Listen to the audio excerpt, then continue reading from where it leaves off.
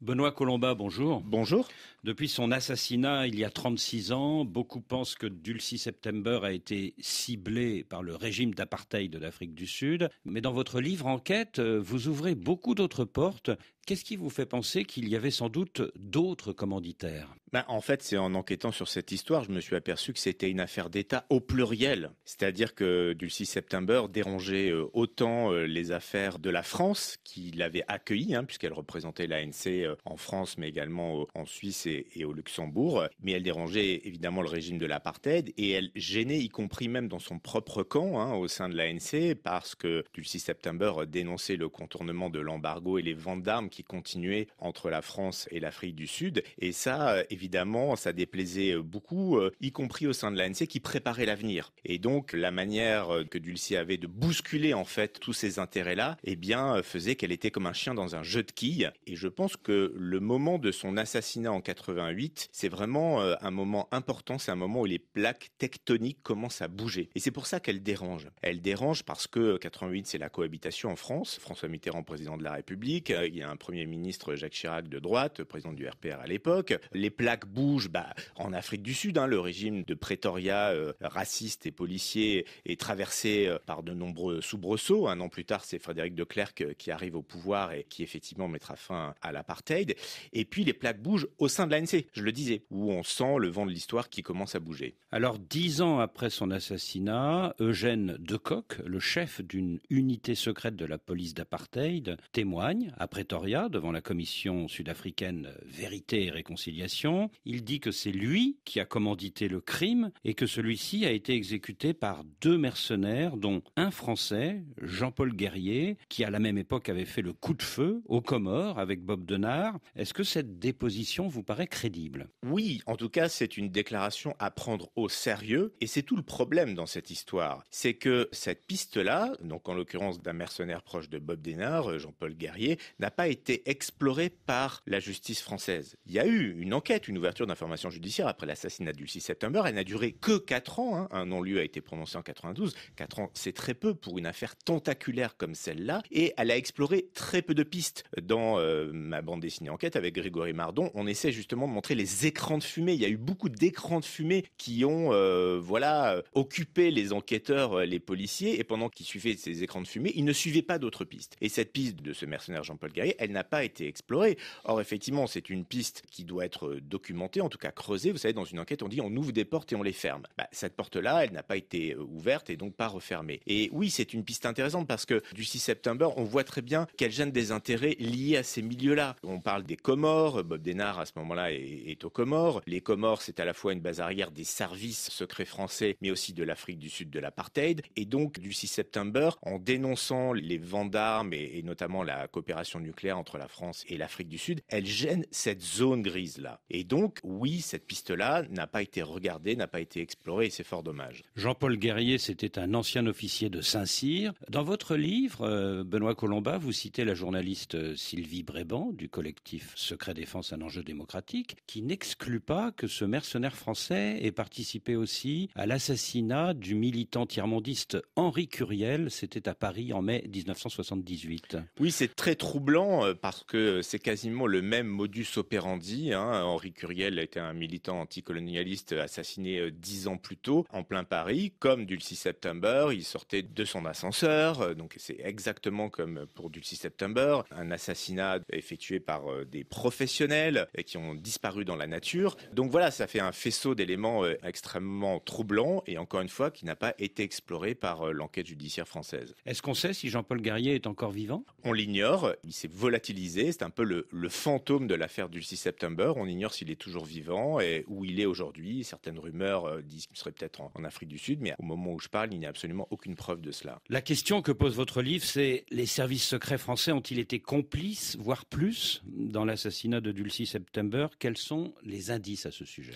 Au minimum, la France savait qu'il se tramait quelque chose et n'a rien fait, ce qui est déjà beaucoup, c'est-à-dire qu'il pourrait être considéré comme une complicité euh, passive en quelque sorte. Quels sont les faits? Dulcie September était euh, surveillée, elle était menacée, elle était euh, placée sur écoute, elle avait des appels euh, malveillants, elle avait été déjà agressée à plusieurs reprises, elle se savait vraiment dans l'œil du cyclone. Mais ça, il y a de nombreux éléments qui en attestent. Il y a des notes manuscrites qui restent. Dans le livre, je raconte une scène très forte, hein, fin 1987, où vraiment au climax des menaces contre elle, elle écrit une lettre à sa meilleure amie en Afrique du Sud et elle dit ma vie est en danger et l'ennemi est à l'intérieur.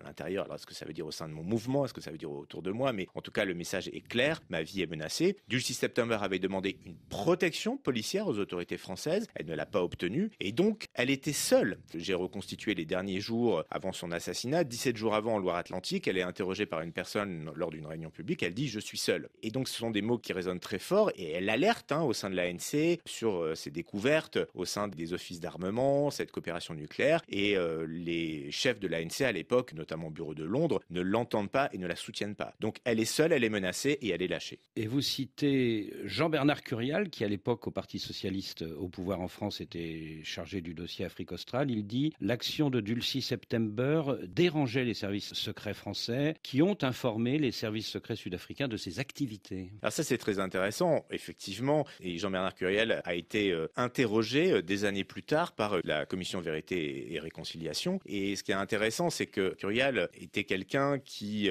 connaissait bien ces milieux-là, qui effectivement était à la fois proche du PS, qui connaissait bien du 6 septembre et qui connaît bien aussi les coulisses du monde de l'armement. Je précise qu'il a notamment été condamné dans l'affaire dite de l'Angola Gate, des ventes d'armes illégales avec l'Angola dans les années 90. Et puis vous citez le patron de la DGSE française de l'époque, les services secrets français de l'époque, le général Mermet, qui vous a appelé il y a un an au téléphone et qui vous a dit à l'époque, on n'avait aucun intérêt à ce que Dulcie September soit éliminé, en plus sur le sol français. Cela aurait été irresponsable. Voyez à qui a profité le crime. Oui, oui. Alors bon, euh, j'ai envie de dire chacun est dans son rôle et évidemment le, patron des services secrets à, l'époque ne peut pas dire autre chose. Mais ce qui est intéressant, il vous a quand même appelé hein, pour dire ça. Voilà. Ce qui est intéressant quand même, c'est que quand on essaie de démonter la, mécanique, et, c'est de voir bah, justement les écrans de fumée qui ont été placés dans cette affaire. Ils sont nombreux. Je rends hommage au travail d'Evelyn Grenin, qui était la première journaliste à sérieusement enquêter sur ce sujet-là, qui est une journaliste hollandaise. Evelyn Grenin qui s'est intéressée au fait que bah, on a présenté cet assassinat au départ comme euh, une action des commandos de la mort en Europe. Mais en fait, quand on regarde le 6 septembre, est la seule représentante de l'ANC assassinée en Europe. Il y a eu effectivement des tentatives d'assassinat. Il y a eu un attentat quelques, quelques semaines plus tôt à Bruxelles. C'est hein. ça, à Bruxelles notamment, en l'occurrence qui n'a pas abouti. Là, on parle d'un assassinat professionnel. On lui a laissé aucune chance. Donc c'est la seule finalement qui a été assassinée sur le sol européen parmi les représentants de l'ANC. Donc elle était vraiment ciblée. C'était elle qu'on visait. Et pourquoi elle était ciblée? C'était un grain de sable en fait. Elle devenait trop gênante par rapport à tout ce qu'elle dénonçait sur ses ventes d'armes. Il y a une collaboration économique et en matière d'armement qui est très ancienne entre la, France et l'Afrique du Sud depuis les années 60. Sauf que là, c'est interdit depuis une résolution des Nations Unies de 77. Il y a un fait troublant que vous rappelez dans votre livre, c'est qu'après l'assassinat de Dulcie September, il n'y a aucune réaction officielle de la France à l'égard du régime d'apartheid. Alors certes, l'ambassadeur d'Afrique du Sud à Paris est convoqué à l'Élysée où on lui exprime la préoccupation de la France, mais l'ambassadeur de France à Pretoria n'est même pas rappelé, c'est-à-dire que ni François Mitterrand ni Jacques Chirac n'ont estimé nécessaire de réagir. C'est très troublant. Je rappelle que cet assassinat il se produit euh, moins d'un mois avant l'élection présidentielle. Donc on est dans ce moment-là hein, où c'est euh, réseau contre réseau entre Mitterrand et Chirac.